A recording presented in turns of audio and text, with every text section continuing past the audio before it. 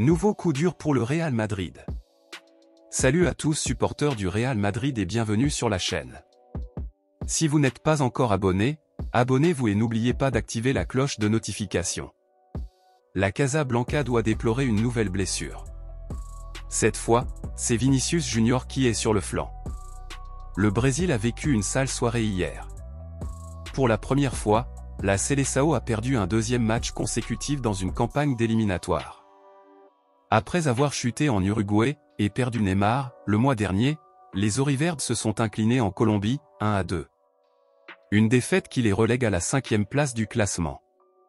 Mais hier, le Brésil a également perdu Vinicius Junior sur blessure. Sorti à la 25e minute et remplacé par Joao Pedro, le Merengue ne sera sans doute pas présent pour le choc contre l'Argentine. Un vrai coup dur pour Fernando Diniz qui doit composer sans son deuxième meilleur attaquant après la perte de Neymar. Leurs absences, de Neymar et de Vinicius Junior, c'est comme si la Colombie jouait sans son meilleur joueur. Mais nous n'avons pas perdu à cause de cela. Nous avons fait le plus dur, c'est-à-dire ouvrir le score en première mi-temps. Nous avons bien commencé le match. Nous aurions pu mieux contrôler le match et creuser l'écart quand nous en avons eu l'occasion. L'infirmerie affiche complet.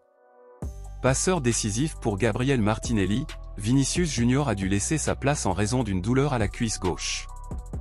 Un événement qui fait forcément bondir la presse madrilène.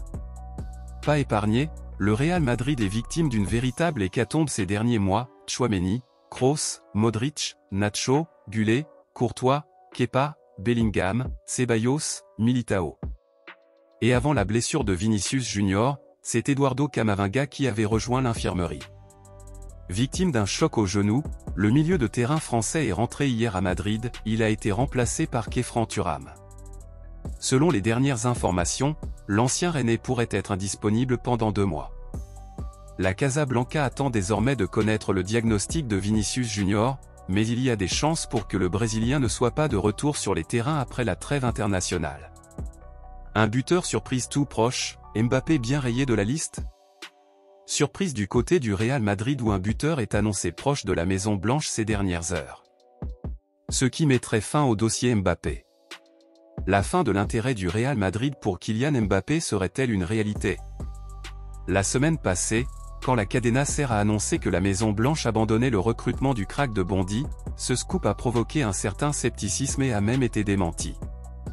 Pourtant, certaines informations laissent penser que le Real Madrid avance bel et bien sur d'autres pistes pour faire venir un avant-centre en 2024, alors que l'arrivée d'Andrick, désormais convoqué en sélection brésilienne, est également déjà actée. Nico Williams à 75% madrilène Ces dernières heures, dans l'émission El Chiringuito, le journaliste espagnol Manu Sainz, qui travaille pour le talk show mais aussi pour le média pro madrilène AS, a annoncé que Nico Williams, le buteur de l'Athletic Bilbao, se rapprocherait sérieusement du Real Madrid, estimant même le dossier conclu, à 75%. Selon lui, alors que Williams est libre en fin de saison et intéresse notamment le Barça, le Real Madrid, au regard des bonnes relations qu'il entretient avec le club basque, ne souhaiterait pas le recruter libre mais assurerait un transfert autour des 50 millions d'euros qui permettrait que personne ne soit perdant. Si l'affaire se confirmait avec Nico Williams en plus d'Andrick cet été à Madrid, il deviendrait effectivement difficile d'envisager une arrivée de Kylian Mbappé en Espagne. Vinicius encore blessé. Le Real Madrid tremble. Le Real Madrid semblait se remettre de ses problèmes de blessure ces dernières semaines, mais la trêve internationale a entraîné deux revers majeurs.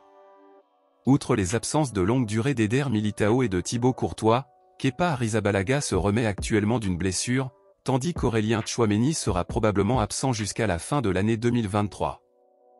Eduardo Camavinga, victime d'une entorse du genou lors d'un entraînement avec la France, sera également absent jusqu'à la mi-janvier.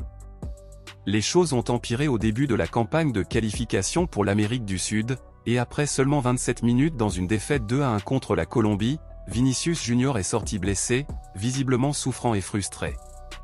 Selon Diario AS, aucun diagnostic officiel n'a encore été posé. Après le match, Vinicius a expliqué qu'il pensait qu'il s'agissait du même problème que sa blessure du début de saison. Je pense que c'est la même blessure que la dernière fois. J'ai pris un coup à cet endroit et j'ai été un peu blessé par la suite. Demain, nous ferons des tests pour voir comment je vais. Vinicius n'a pas exclu d'être présent pour la rencontre entre le Brésil et l'Argentine cinq jours plus tard, mais il a admis que ce serait difficile. Plus tôt dans la saison, Vinicius a souffert d'une légère déchirure à la cuisse lors d'un match contre le Celta Vigo en août, ce qui l'a empêché de jouer pendant un peu plus d'un mois. S'il s'agit du même problème, il pourrait également manquer le reste de la saison 2023 du Real Madrid, étant donné que la trêve de Noël commence le 20 décembre. C'est la fin de cette vidéo, n'hésitez pas à laisser un pouce bleu et à vous abonner à la chaîne. On se dit à la prochaine pour une nouvelle vidéo d'ici là portez-vous bien, ciao